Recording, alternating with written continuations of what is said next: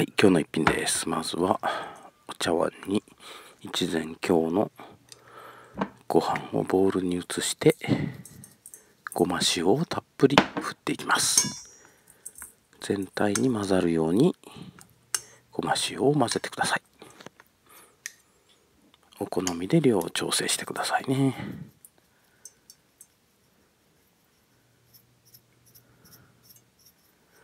はいこれで全体に混ざったら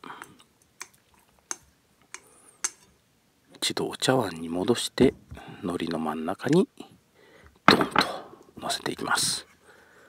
あとはいつものように包んで海苔をなじませたらカットしていきます